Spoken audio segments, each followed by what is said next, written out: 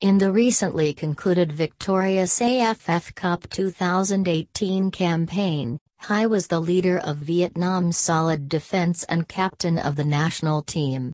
He won praise for his reading of the game and leadership, greatly contributing to the success of Vietnam's three-man defense lineup.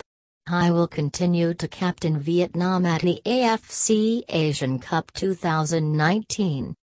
Fox Sports has commended Hai's career transformation, from being a talented but hot-headed and inconsistent player to becoming the leader of Vietnam national football team.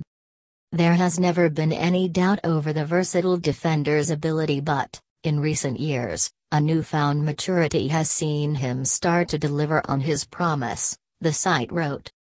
Five other defenders on the list are, Theerathon Bunmathan of Thailand, Majid Hosseini of Iran, Hiroki Sakai of Japan, Ali Al-Bulaihi of Saudi Arabia and Abdelkarim Hassan of Qatar.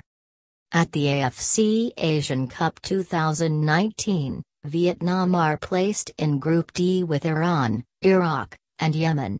Vietnam will play their first match of the group stage against Iraq in Zayed Sports City Stadium, Abu Dhabi at 8.30 p.m. on January 8.